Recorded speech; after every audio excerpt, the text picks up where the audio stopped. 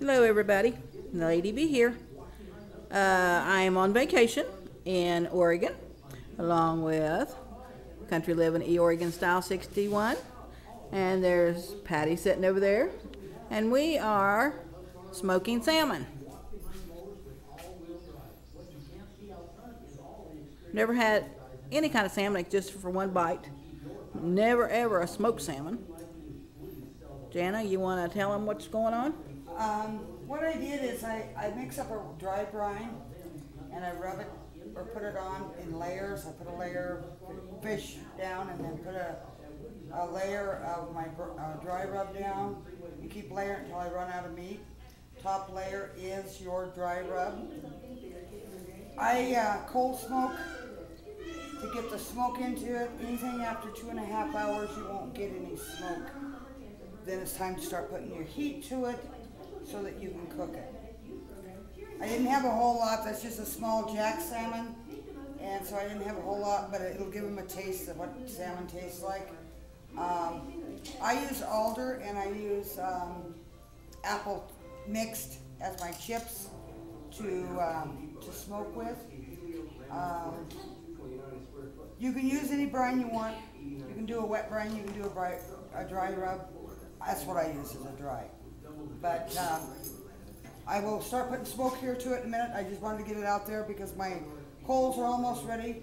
I use uh, charcoal to get it started, and then I start adding my um, my uh, wet chips to it. After two two and a half hours. Sorry about that, about fell. After two, two and a half hours, then I start adding fur to it to get the heat, to get the fish done. Or if you're doing jerky, I use the same brine for jerky as I do for, for fish. I mean, it's the same thing. So we'll see what we got here. Yeah, we can, it, it could wait a little bit longer, but I'm gonna go ahead and put some in. You know, and we just soak it in water. Uh, soaked it, started last night, soaking it. I put quite a bit on the first go around.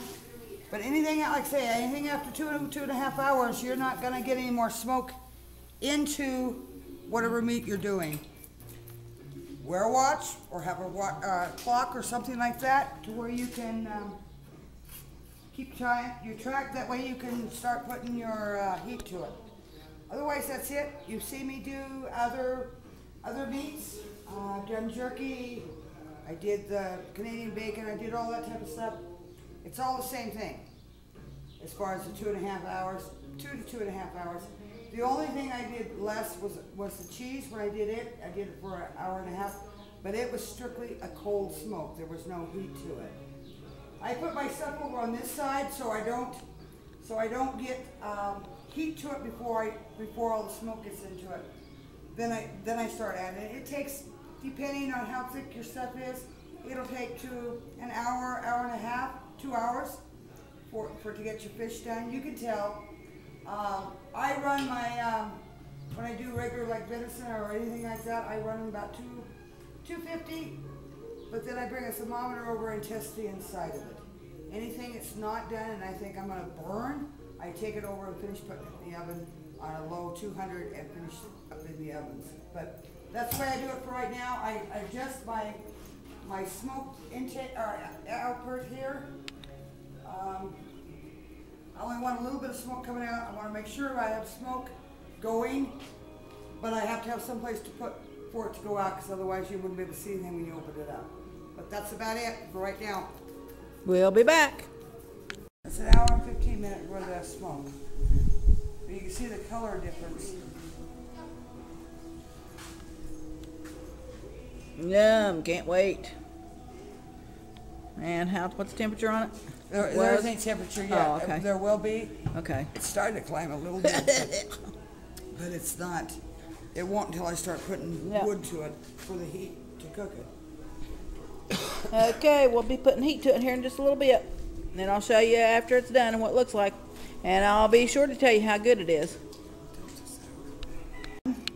Okay, everybody, we're back and it's done. I'm sorry it's so dark and you may not be able to see a whole lot of it. But I guarantee you, oh, wow. I cannot wait to taste it. Jana, Jana tells me that I've been living such a sheltered life and I've never tasted anything. So I'll let you know in a little bit how it tastes. Okay, this is the pizza that I've been eating off of. And it is absolutely wonderful. I've never tasted it before. I've had a little tiny, tiny piece of salmon that my daughter had fixed, but never smoked. And I guarantee you, this is absolutely delicious. It's super delicious. Thank you, Jana. You're welcome. so we'll talk to you later. Thanks for watching. Bye.